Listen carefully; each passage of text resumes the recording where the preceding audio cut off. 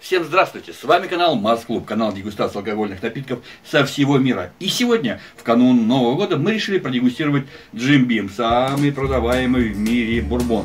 Но не простой, а, а какой давайте выберем. Пойдемте к столу. Привет, привет, привет! С вами канал Марс Клуб, и я бессменный ведущий, человек без имени. Здравствуйте. А вот я. Э, Здравствуйте, это Никита. Меня вы уже все знаете. И пришло время новогодних праздников. Вернее, они не совсем скоро. И по скидочке в магазине, в моем любимом магазине Метро, эм, сам я живу в Белгородской области, у нас очень дорогой алкоголь, и поэтому я езжу в Воронеж, там алкоголь дешевле, и вот эти две бутылочки я купил за 999, вернее, каждая из них. Согласитесь, очень приятные цены. Таких цен старом Осколе, увы, не бывает. И мы решили с Никитой продегустировать. А вот какую из них, с чего мы начнем? Я предлагаю снять два ролика, две отдельных дегустации. Давай с чего начнем сейчас. А, с того, что полегче, я предлагаю 35 градусов, это мед. Да, все правильно, пойдем на градус на повышение. Начнем с Джим Бима мед. Ну, давай покажем бутылочку оператору. Стандартная форма бутылки Джим Бим, стандартная форма этикетки. Все стандартно красиво, конечно же, новый дизайн, необычный, ну и э, вишенька. Цвет. Мы сейчас его оценим. Вишенька на торте, это, конечно же, инструкция эм, или как-то состав на русском языке. Инструкция к применению. И тут написано, э, что меня немножко, конечно, раздражает, напиток спиртовой, черт побери. Сразу вся романтика куда-то исчезает. Э, И состав бурбон обязательно. Кстати, Джим Бим самый продаваемый бурбон в мире. И открывай. И мой самый любимый бурбон. Твой? Да. Да. Ну да, вот Володя, который со мной снимается постоянно, он тоже говорит, что Джим Бим один из его любимых. Странно. Ну, наливаем. Ну, он действительно хорош. Шучу. В составе этого джимбима э, э, медовый хани это мед. Здесь э, мед, конечно же, есть, э, ваниль, судя потом э, по переводу на русском язык, э, языке, ну и какие-то там еще ингредиенты. Что касается цвета, обыкновенный желтый, желтый, без всяких эм, трудностей и изысков. Простой желтоватый медовый цвет. Соответствует, в принципе, э, цвету меда. Слабо-слабо заваренный чай. Да? Ну, мне так показалось. Ну, возможно. Напиток, конечно же, больше коктейльный, по большому счету. Э, ну, давайте попробуем его в чистом виде. На нос. На нос. Ну, давай на нос. На нос, на нос. Ну, Джим Бим здесь э, ярко. А вот мед чувствуешь? Сначала вот первые ноты, первые, первая волна запахов, это, конечно же, Джим Бим. Вот устойчивый, вот издалека, как, как говорят некоторые сомелье, длинный нос. Даже и нос не надо засовывать, а уже Джим Бим. Я вот мед не почувствовал. А вообще чем мед пахнет? Вот и вам и ответ. Мне кажется, мед э, пахнет сладостью. Джимбим и... Что? Что ты еще? Ну, Послушай, послушай запах. Ну, я чувствую только вот спиртовой запах и все. Никакого, никакой сладости, ни, Ну ничего. вот э, мы недавно пили джимби в компании в одной, да, и свежо воспоминание, я скажу, что здесь запах джимбима гораздо мягче, гораздо как бы сказать, менее насыщенный, так знаете, как э, притушить громкостью телевизора больше, чем наполовину, слегка-слегка оттеночно.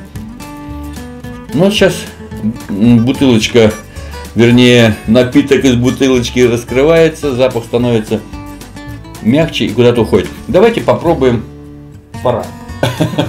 Глоток, небольшой глоток.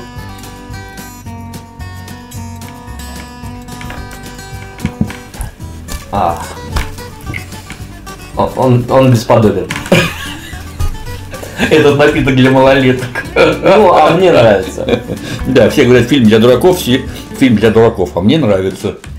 Но он настолько легко пьется, его надо, он вообще, ну, как ну, вообще на- тут как написано, что это ликер, да, это ликер. Это сладкий, сладенький такой ликерчик для девушек и молодых людей, наверное, для веселых компаний. Но да, сделаем глоток побольше. Ваше здоровье. Да, ваше здоровье. Я скоро буду, заберу у тебя работу. Давай.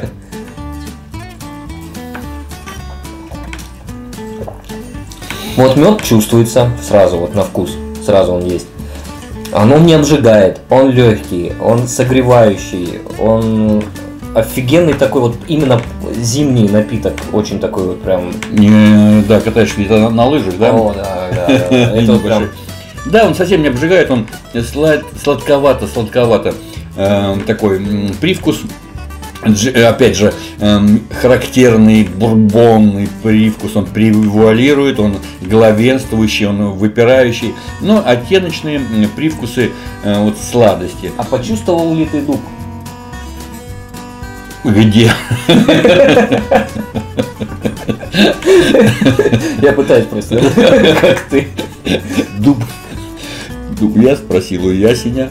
Э, Ты знаешь, я как бы, ну, мне не- э, это вообще не мой напиток. Вот, друзья мои, это напиток не мой. То есть я могу его забрать после дегустации? Ну, по большому счету забирай, если, Вот, вот, вот. если, да, если моя супруга не будет против. Хотя Мы она вообще, да, она договорились вообще, она не пьет. Что, ребят, вкусный, хорош, но это не мой напиток, сладенький, слабо сладенький для молодых девушек и молодых людей, наверное, может быть, в барах где-то его пить, он заходит легко, послевкусие приятно, сладостное, легкий оттеночек, кстати, ванилина. Хочешь попробовать со льдом?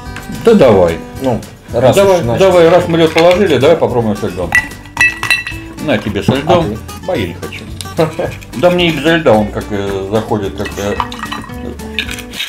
Вот, дорогие друзья, на, позвени. Ну что у нас? У нас... Давай, теперь мы тебя послушаем. Послушайте меня, да, послушайте молодого эксперта. В стакане появился лед. И я почувствовал наконец-то дуб. Запаха вообще нет. Конечно, заморозилось. Вообще, да. Ну, давайте вкус. Вообще как вода. Что ты хотела? Блин, ну настолько легко пьется. Вот это действительно, ты здорово сказал про лыжи. Это вот сейчас вот покатался в горах, такой весь замерз, промерзся, идешь вот так, и тебе наливает немножечко такого. Хлоп. Да, и ты так хоп, и хорошо, и тепло. Нет, ну тут, А тут вообще ничего не чувствуется. ну да, Это все замерзло. такое легкая винишка. Ну да, да, да. Ну это, повторюсь, это напиток не мой, это напиток, эм, я уже сказал кому, чему эм, дарю тебе. Я выскажу свое мнение. 35, м, э, что радует в этом напитке, новогодняя цена. Вот, э, Да, ну, отличная цена для такого напитка. Вот за тысячу рублей вообще нисколько не жалко. 999. Копейка рубль бережет. Все, дорогие мои, будем на этом заканчивать. В следующем ролике мы с Никитой продегустируем Red Stag, красного оленя. А на этом все. Подписывайтесь, ставьте лайки, говорите все, что думаете.